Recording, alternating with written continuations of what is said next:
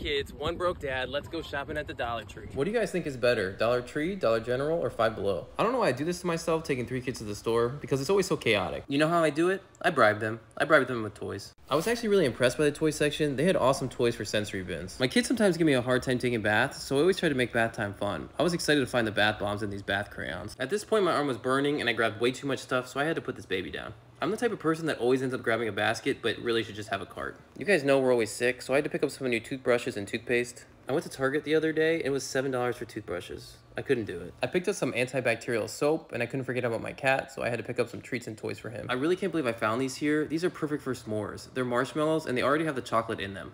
One of my kids had a potty emergency, so I had to run into the front and grab the key. I thought only gas stations did this for the bathroom.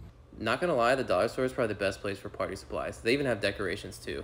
At this point, one of my kids was running away and everyone kept staring at me. I was just trying to avoid a meltdown. Somehow we pulled it together